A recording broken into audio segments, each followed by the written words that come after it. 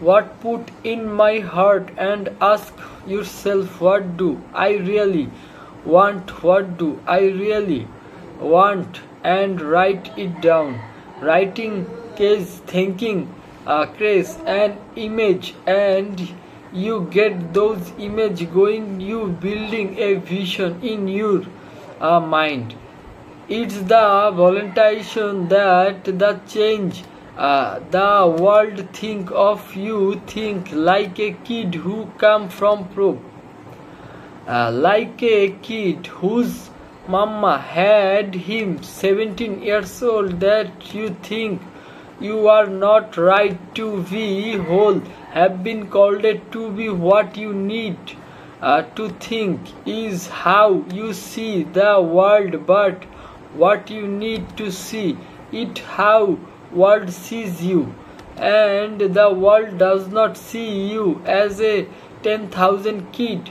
The world sees you as much bigger and when you can see yourself as the world sees you and not how you yourself. When you going to go another level let me tell you something. You got to you walk out of here the way you see uh, is the problem.